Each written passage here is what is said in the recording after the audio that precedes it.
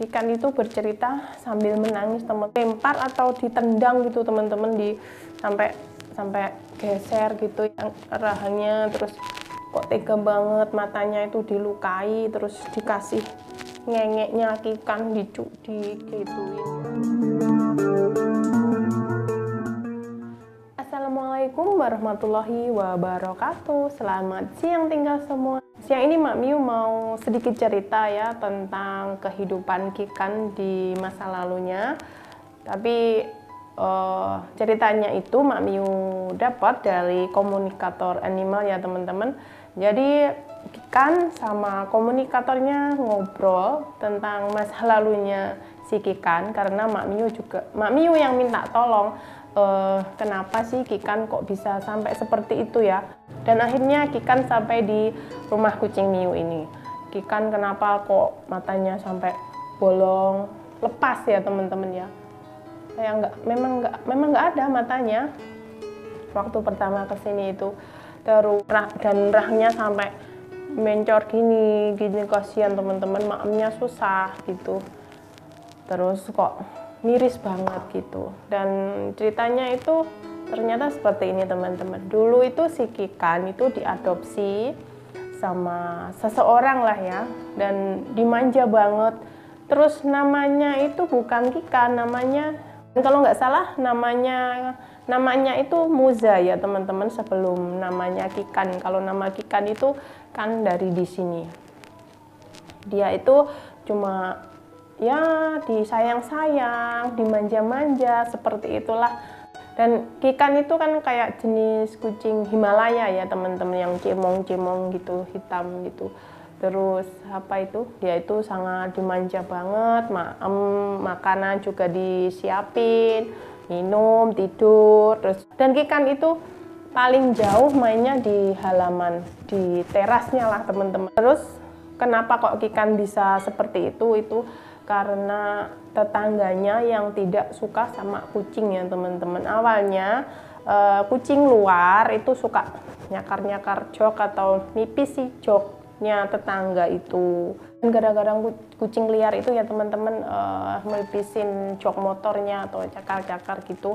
Akhirnya uh, ownernya si Kikan ini yang dituduh dikira si Kikan yang cakar-cakar dan pipisin jok motornya. Akhirnya uh, sama tetangga itu uh, berantem lah ya teman-teman. Dan akhirnya Kikan itu keluar atau diculik gitu akhirnya Kikan itu katanya dilempar di tembok matanya dicukil terus di apa kasih ngengeknya ya Allah tragis banget Mamiu apa Ikan itu bercerita sambil menangis teman-teman coba bayangin ya waktu kayak gitu ya. Mbak Mio aja kayak oh, kayak gini. Bayangin si Kikan kayak gitu. Padahal Kikan kan ya nggak salah apa-apa dia katanya begitu. Dia cerita sama komunikatornya itu juga sambil nangis teman-teman. Kasihan banget. Mbak Mio gini kak sambil bayangin riwayatnya Kikan dulu ya. Kok kok sejahat itu orangnya itu loh. Padahal kan eh, nggak uh, lihat kan nggak lihat kikan nyakar nyakar gitu. Kok dia sampai nuduh kikan kayak gitu. Terus katanya dilempar keras ke tembok. Terus akhirnya rahen rahangnya apa? Dilempar atau ditendang gitu teman-teman di sampai sampai geser gitu ya rahang rahangnya. Terus kok tega banget matanya itu dilukai terus dikasih ngengeknya Kikan dicu digituin ya Allah. Terus akhirnya Kikan tiga hari sembunyi di tumpukan bata-bata gitu tapi dia ya takut ya teman-teman dia takut mau keluar itu tapi dia kelaparan. Kelaparan terus akhirnya dia pergi ke sampah-sampah lah ya teman-teman ini yang nemuin kan dulu uh, temennya Mak Mio yang jualan itu ya yang jualan nasi goreng jadi jadi kan itu mengais-ngais sampah di sampahnya nasi goreng temennya Mak Mio itu akhirnya diambil terus diserahkan ke Mak Mio dengan kondisi yang sangat memprihatinkan. Jadi si Kikan itu trauma berat ya teman-teman. Terus kenapa dia kok sering menyendiri di sini seperti itu karena dia masih trauma seperti itu. Tapi dia sangat senang sekali di sini sudah diobatin sama ayah sama mama tinggal di sini sebenarnya dia sangat senang sekali. Makanya dalam beberapa hari kemarin ini dia akan manja-manja banget ya teman-teman ya. Waktu live juga dia oh, guling-guling seperti itu. Terus kemarin Mak Miu tanyakan juga kenapa kok tumben si Kikan itu meong-meong? Padahal sebelumnya itu kan anaknya pendiam banget ya cuma tidur makan seperti itu. Ternyata ya itu dia itu mau bilang terima kasih gitu tapi dia nggak tahu caranya ungkapin mau terima kasihnya itu gimana gitu katanya. Sangat sedih sekali teman-teman ceritanya Ki kan. Kalau saya dengerin ceritanya Ki kan itu mesti sambil nangis saya mami bayangin lah kok sekejam itu manusia sama hewan ya. Dan alhamdulillah ini tadi Mak Miu dan ayah sudah mandiin anak-anak semua teman-teman. Alhamdulillah sudah selesai dan dan juga termasuk Kikan komunikator. Ini sebenarnya setiap orang bisa ya teman-teman. Uh, kayak Mak Miu nonton di Kak Jasmine Jowi itu ya. Uh, dia kan komunikator hewan juga. Itu yang penting itu meditasi fokus seperti itu. Setiap orang katanya bisa berkomunikasi dengan hewan teman-teman dan Mak Miu sudah dua kali nyoba tapi belum belum berhasil. Pingin banget Mak Miu. Mak Miu sama sekali belum pernah meditasi ya teman-teman. Jadi uh, yang pertama itu pas fokus gitu warnanya itu warnanya itu merah. Meditasi yang kedua kok berubah jadi hijau gitu.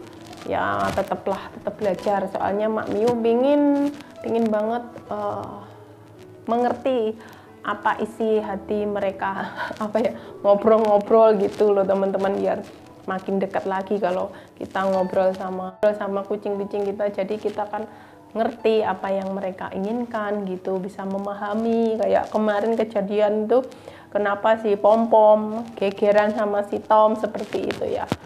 Ya perlu waktulah. Katanya Kak Jasmine Jawi itu kalau belum pernah belum pernah meditasi itu memang agak lama.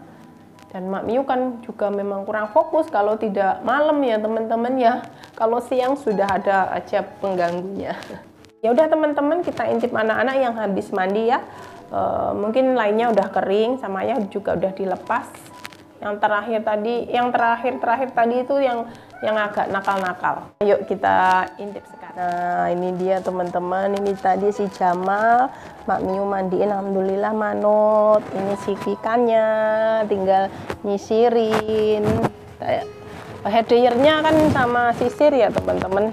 Jadi cepet kering.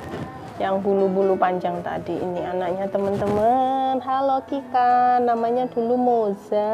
Ini sayang hmm? ada kutunya satu itu tuh tuh tuh. Udah mati di atas.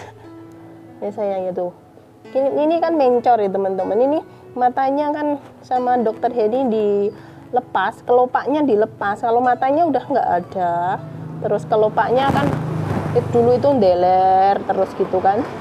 Terus sama dokter Heni di kelopaknya diambil biar tidak brebes gitu. Soalnya nanah teman-teman yang dikeluarin ya terus dijahit. Alhamdulillah ini udah bagus. Ya sayang ya sudah gemuk. Terus bulunya juga makin bagus. Hmm. terus dimaafin orang yang menganiaya kamu dulu ya biar dapat ganjaran setimpal. Ya.